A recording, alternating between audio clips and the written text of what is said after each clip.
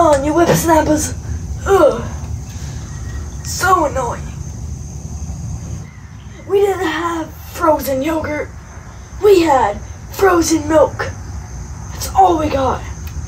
We didn't have cell phones. We had literally bricks that folded into your pockets. I remember back in my day, I didn't have to tell people to get off my lawn.